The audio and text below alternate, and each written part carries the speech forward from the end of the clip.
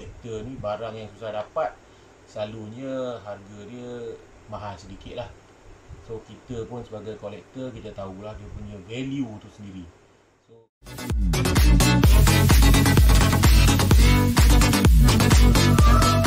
Hai, selamat datang ke channel YouTube saya. So hari ni saya akan unboxing satu mainan iaitu Gundam Seed Character Collection.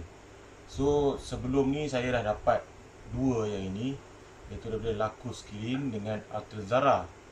So saya cuma tak dapat satu lagi iaitu Kira Yamato. Kira Yamato ni boleh dikatakan sangat rare lah, susah nak dapat.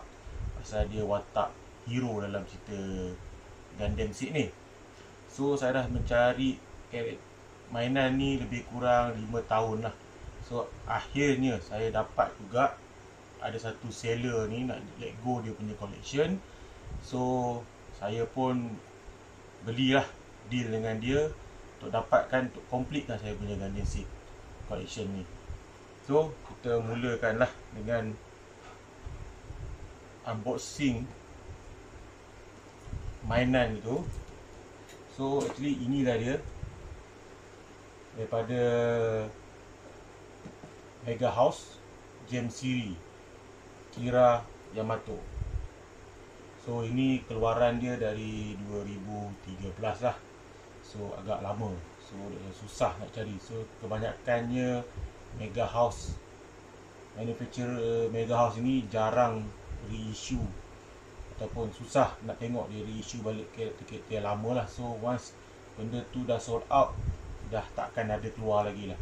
That's why itu benda ni agak rare untuk dapat. So akhirnya saya dapat benda ni untuk completekan saya punya set ni lah so hari ni kita akan unboxing karakter ni untuk kita tengok satu persatu. So kita buka dulu. So pandangkan ini barang rare so kita perlu jagalah kotak dia supaya tak ada yang rosak. Pasal walaupun kotak tapi dia still ada value. So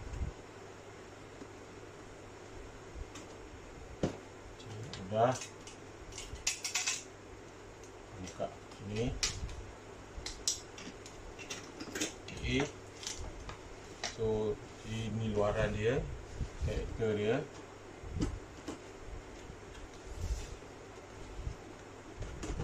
Dalam dia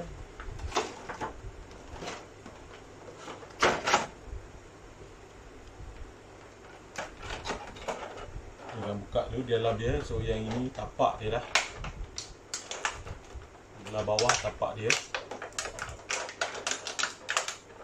Dan Macam ni karakter dia Dia akan bagi satu Muka ekstra lah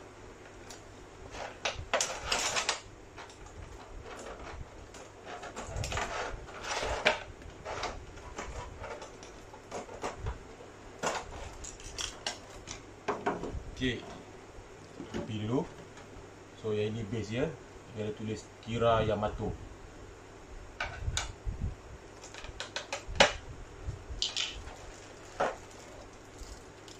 So kita pun tahulah yang game Mega House ni dia punya detail dia memang perfect dan super. Jarang ada fallout apa-apalah. So that's why dia punya figure ni agak mahal compare tu dengan yang biasa-biasa macam band Presto dan lain-lain lah so kita boleh buka plastik dia semua. Ni tangan dia pun actually boleh cabut.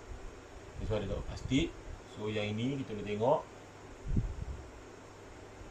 Detail dia memang berbaloi lah beli daripada Mega House ni. So yang macam ni dia akan buka sini So maknanya dia akan boleh tukar dengan kepala Isra ni. So ini plastik kita buka dulu Kita cuba pasang Yang standard ni dulu. So saya buka.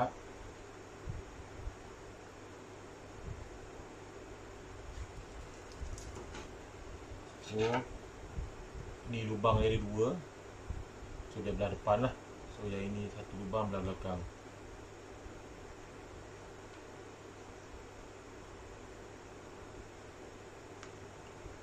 So macam ni So memang perfect lah. Dia punya Structure dia semua Detail Muka dia dengan posing dia. Memang saya berpuas hati lah dengan karakter ni. So dia ada bagi juga dia punya yang ini Saya pun lupa nama dia burung ni lah. So dia bagi dua Satu yang yang ini Kalau ikutkan daripada box dia Dia akan letak Dekat bahu dia. So macam ni ha.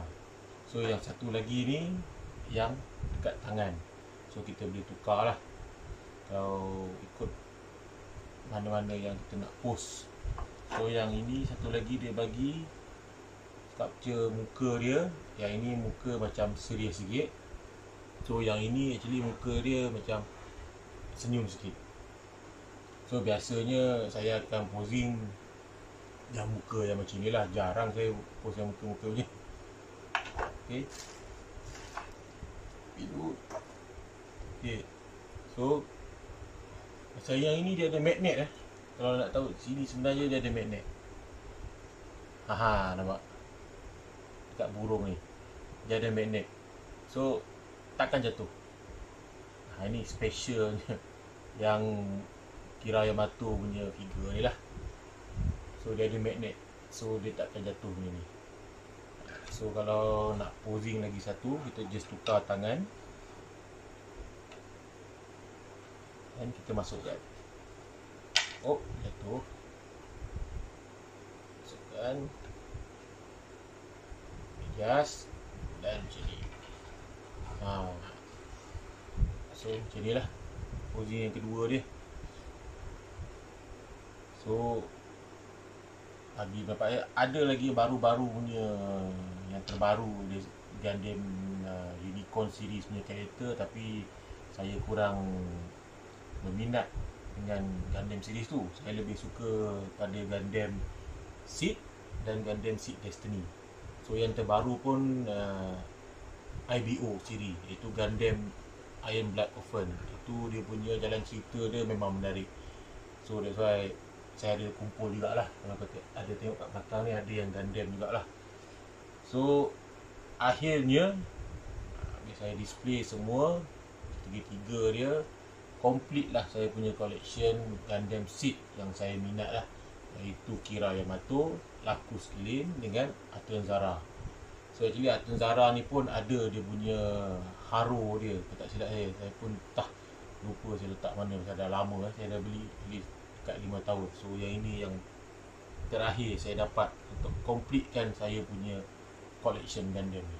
Buat masa ni, ini antara bagi saya ini lah kayak figure yang paling saya suka lah. Dan pasal susah dapat.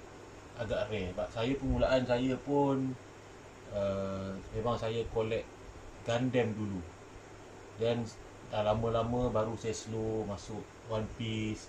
Yang tengok dekat belakang saya ni One Piece Dragon Ball Itu ada Macross Frontier sikit Dan ada yang karakter-karakter anime yang lain lah. So permulaan saya start collection ni adalah Gundam.